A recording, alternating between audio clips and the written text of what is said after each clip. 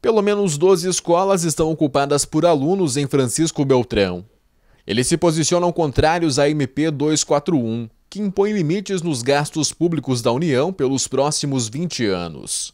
Entretanto, por conta das mobilizações, o calendário escolar já foi comprometido e tem nova data para terminar. Agora é no dia 28 de dezembro, sete dias a mais do que a data anterior, marcada para o dia 21. Preocupados com o desempenho de seus filhos, pais foram à frente dos portões das escolas para pedir a volta da normalidade escolar.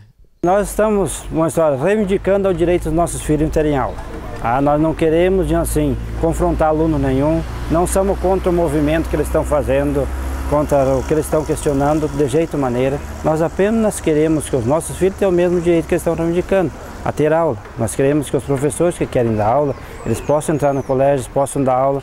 Eu tenho filho no terceiro ano, estão se preparando para o Enem, eles estão sendo prejudicados já com o ensino e psicologicamente, porque eles estão com o psicológico abalado, preocupados com o que eles vão fazer no Enem.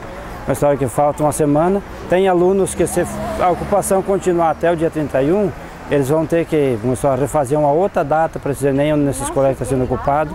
Então, assim, é uma preocupação bem grande quanto isso aí. Então, assim, o direito à reivindicação é justo, é liberal no Brasil, todo mundo tem esse direito, só que desde que não prejudique o terceiro também, né? Então, eu acho que nessas alturas, os nossos filhos estão sendo prejudicados.